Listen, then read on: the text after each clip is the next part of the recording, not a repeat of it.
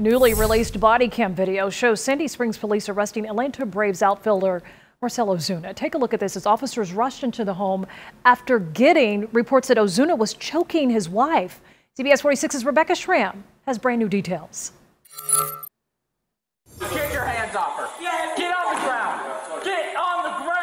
In the Sandy Springs police body cam video, you can see Atlanta Braves outfielder Marcell Ozuna appears to have his right hand on his wife's neck as the officer walks into their home.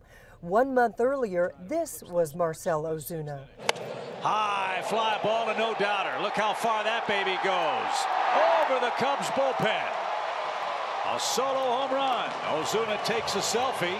The arrest did not sit well with Braves fans. It's pretty disappointing. A lot of people look up to him, a lot of young kids, and they see him as a role model. And if he's acting like this, it's not a good thing, you know? He should he should know better. With the arrest hanging over his head, plus two dislocated fingers on his left hand, Ozuna did not take part as the Braves made their World Series run.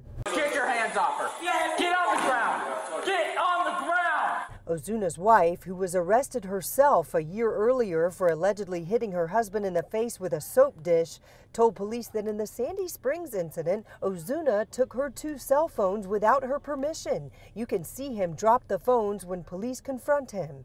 He was originally charged with felonies, including aggravated assault by strangulation, but the counts were later reduced to family violence charges, and he agreed to complete a family intervention program.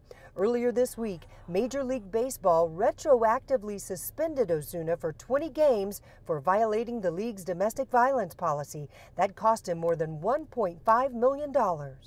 A spokesperson for the Braves said they support the suspension, that they are encouraged that Ozuna has accepted responsibility for his actions. By the way, he will be eligible to return to the Braves next season.